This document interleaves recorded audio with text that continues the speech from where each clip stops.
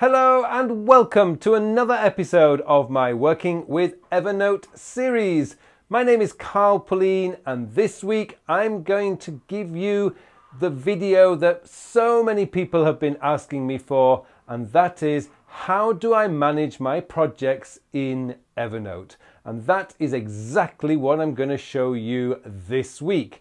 Now, for those of you who don't know, I use a system called the time sector system. So this means that my task manager does not manage my projects. My task manager, surprisingly, manages my tasks.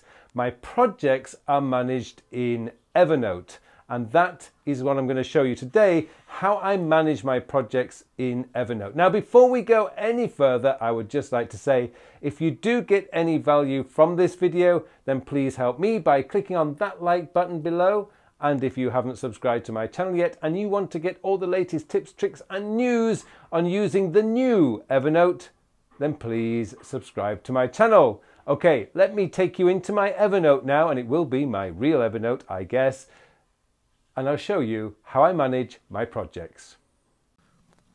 Okay, so here we have my Evernote account. Now, I'm going to be completely honest with you here. This is my demo account. I haven't managed to clean up my genuine Evernote account yet because that is a task that I'm going to use do in late December because I have a couple of weeks off, 10 days off, and I'm going to use that time to get my Evernote cleaned up and ready for the new year. So here's my demo account, and this is the structure that I genuinely use now in my Evernote. So I use basically uh, Tiago Forte's Para system. Para stands for projects, which you can see right here projects, areas of focus, resources, and archive. Now, today, what I want to show you is how I manage my projects using Evernote. And I genuinely do this. This is where I spend most of my days during the week. I don't manage my projects in a task manager because a task manager is not a project manager, it is task manager. And so, anyway, this is where I keep my master projects list. This is essentially where I would start most days when I'm working on projects. Now, this is just, as I say, a demo account. So, some of these are genuine, some of these are kind of fictitious, or they're not exactly where they're showing at the moment. But I'm going to be doing one thing I can assure you is that next year, one of my goals is to update all of my online courses to here, as you can see here, 1080p. I want to go to make sure that they are all in HD format. And I have about six courses that are not in HD uh, format just yet, and so my project is to clean those up. So what I've got is two project, two of these in my in the first quarter of next year. So the first one I'm going to do is my email mastery course update. Now the principles in that course will remain the same; they haven't changed. But what I am doing at the moment is I'm just reviewing the course outline to see if there's anything that I can add. Now, one of the things that I realized I didn't do was I didn't put in very many setup guides in the course. So I've already decided that I'm going to add uh, a Gmail, an Outlook, and an Apple Mail setup guide in the course. So this is an additional stuff. But at the moment, I'm just reviewing the course, and the anticipation comp- anticipated completion date is the 31st of January. So this is going to be my big project, I guess, in January. Now, what else I do is so I've got, if we look at the top, now this is where you can create whatever you want. You can decide what you want to do. Now, I don't have a boss as such. So essentially, I have an anticipated completion date because usually my completion dates, it gets to the 31st of January and I just want to do a final check. Well, it wouldn't be a big deal if I you know published it on the 2nd of February. That wouldn't be a big deal. But this is where I'm anticipating the completion date. Of course, if you have a boss, you might actually have hard deadline dates. So, in which case, you might not want to use the word anticipated. And then I've got my notes. These are just things that I would want to remember. They're just little things about what's the purpose of the project, why I'm going to do it, and what needs to happen next. And here, the link. Now, this whole thing works from the master project list simply because you can actually create a link in Evernote directly to that project. So, although I haven't added anything to that just yet, what I can do, let's say I've been working on the project, I've added a lot of stuff in there, I can just click on that and then it'll take me to the actual project note.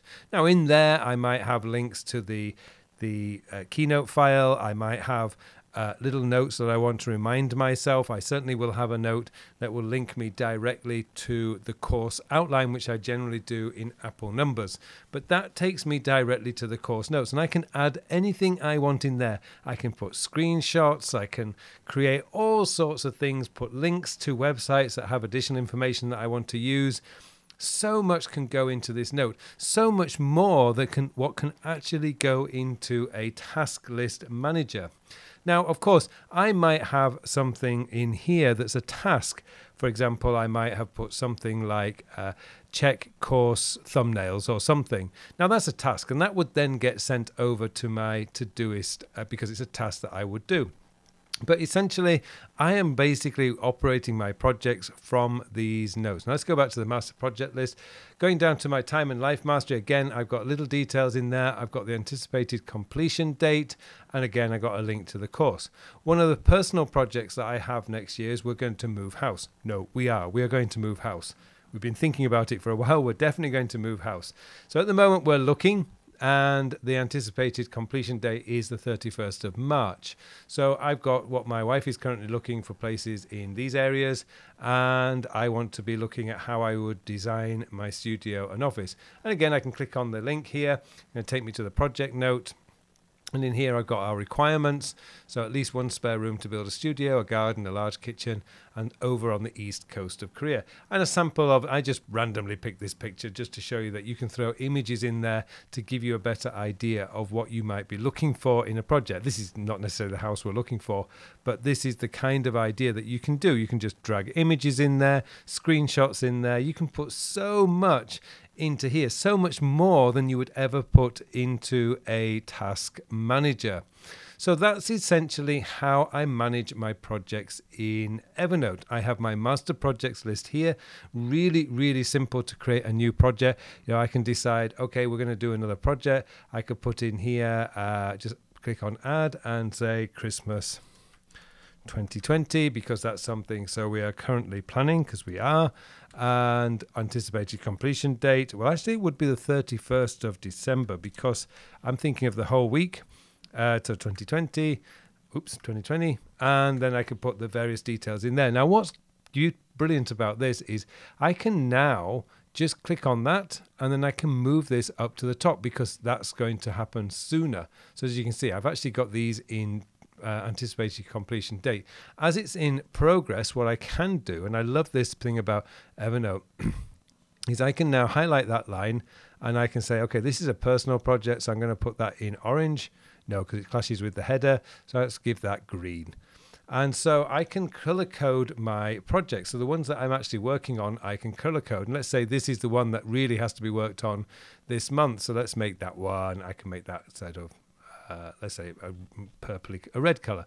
So you can create whatever you want using the table function in Evernote. And I just love this setup. When I do my weekly planning session now, all I have to do is to go in here. So I could just put a note in here, say, we still need to book hotel for New, let's do New Year's Eve.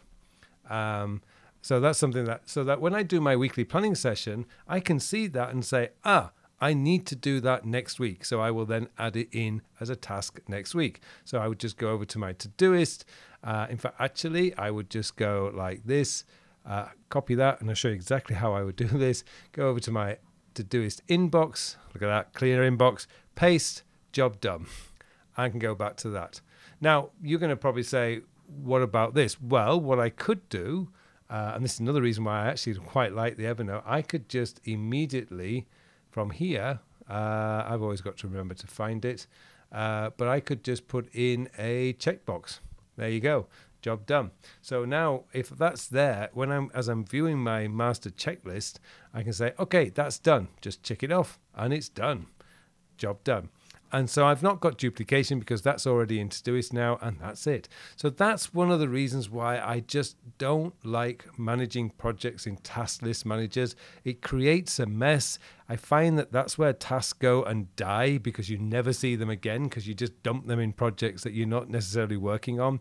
Here, I get a really clear view of where my projects are, how they're working, how they're operating, and I have the details of the project right here in these project notes.